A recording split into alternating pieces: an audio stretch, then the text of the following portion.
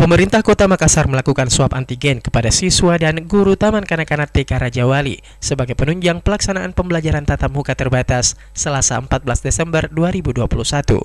Sejak pagi, anak-anak ini menanti kedatangan tenaga kesehatan dari Puskesmas Bangkala untuk melakukan swab antigen. Saat tiba pelaksanaan swab, mereka duduk tenang menanti giliran. Geli, itulah gambaran dari ekspresi mereka usai sebuah benda asing jenis cotton bud baru saja dimasukkan ke dalam hidungnya. Meski di antara mereka ada yang takut untuk tes antigen, namun dengan bujukan orang tua dan guru, mereka pun menjalani tes.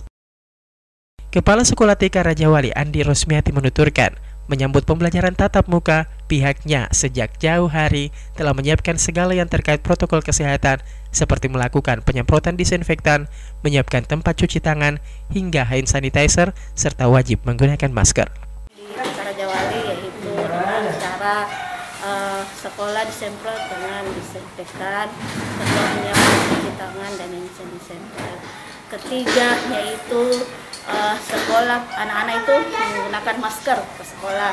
Keempat anak-anak diswab yang uh, dari pihak NABS atau dari pihak puskesmas yang anak-anak uh, menggunakan uh, swab Pelaksanaan tatap muka untuk jenjang taman kanak-kanak dan PAUD dijadwalkan pada Januari 2022.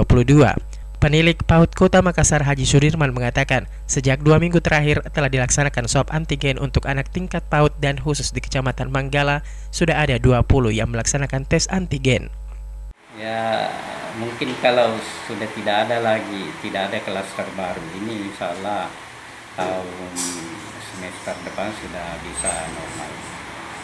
Kalau Manggala lihat daftar itu sudah hampir 2 per 3, sudah lebih 20 20 TK PAUD yang eh, yang PTM dan rata-rata tidak ada keluhan.